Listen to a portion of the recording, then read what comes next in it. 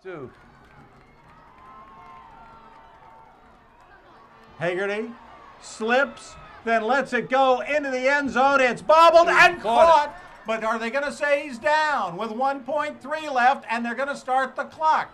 They want to start the clock. Hanahan's going to win the game. They're start the clock hasn't started on the scoreboard, but now it runs out. Hilton Head is denied any further plays.